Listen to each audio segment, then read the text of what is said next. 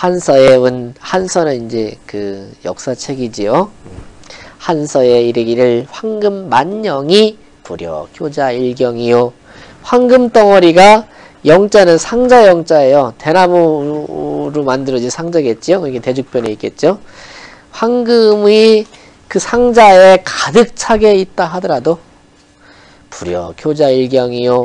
자식한테 하나의 경전, 지금 하나의 올바른 책이죠. 경서를 가르치는 것만 갖지 못하고 사자 천금이 사자는 줄 사자지요. 자식에게 천금의 돈을 주는 것이 불여 교자 일년이라. 그 자식에게 하나의 기술, 하나의 예능, 하나의 예술 이런 것을 가르치는 것만 못하더라 이거죠. 그래서 지금 그러신가 봐요. 예체능 학생들 돈 많이 드립니다. 이게 다 그런 의미인지는 모르겠어요. 근데 제가 볼 때는 그거보다는 좀 더 구체적으로 하나의 기능, 하나의 기회를 확실하게 그쪽으로 기능장이 될 정도로 이렇게 길러주는 것도 바람직하다. 그렇게 보시는 게 좋을 것 같아요. 지락은 막여 독서요, 지유는 막여 교자니라. 이 지자는 지극할 지자예요.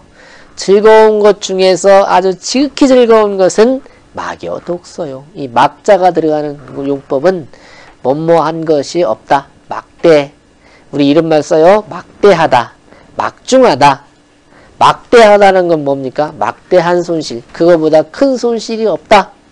막중하다. 그거보다 중요한 것이 없다. 이렇게 되니까 어떻게 돼요? 막여 독서요. 글을 읽는 것 같은 것이 없고 지요는 이 요자는 중요할 요자고 이게 그 요점 요자라고 볼 수 있죠. 중요한 것 중에 지극히 중요한 것은 막여 교자니라 자식을 가르치는 것보다 더 중요한 것은 없더라 이거죠. 한서에 운 황금 만영이 불여 교자 일경이요 사자천금이 불여 교자 일예니라 지락은 막여 독소요 지요는 막여 교자니라